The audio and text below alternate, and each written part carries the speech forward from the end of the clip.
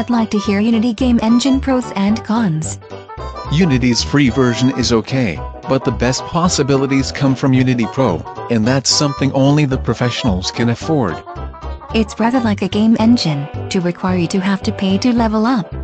You have to pay for the extra modules to export to the iOS, PCs, gaming consoles and Windows Phone, and that increases the costs. Who uses the Windows Phone? Who uses Unity too? Unity is widely used.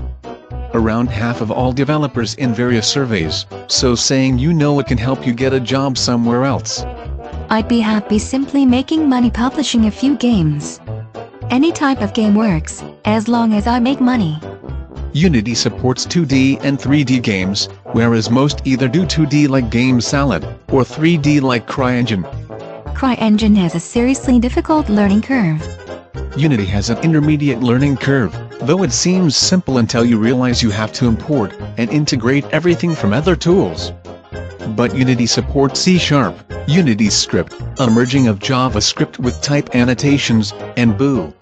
You're making that last one up. No, I'm not. I know some other game engines use their own programming languages in the game engine.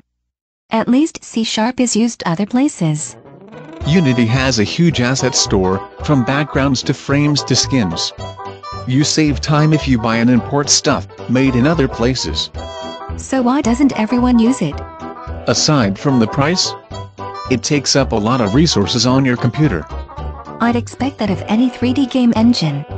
It lacks an editor for Linux. I'm sure the dedicated Linux users can set up an emulation in any other OS to run the game, if they really want to. It requires the use of a mouse to do anything. You cannot develop games via drag and drop with a stylus. I'd expect that with the free little 2D game engines, not the serious ones. Unity has features like a free shader and state machine alternatives that people use, but Unity does not bother to make formally part of the code tree or support it. As long as they offer support. Unity lacks support for some things simply because the error could come from anything it interfaces with, and you cannot modify the code engine. I lack that expertise. I could hire help. It is hard to collaborate with, even if you pay extra for the team license. The active community puts out lots of free and cheap assets, but support beyond tutorials is not as freely available. A free version plus paid for extras is pretty standard these days. Gotta pay to play, well, develop with a game engine.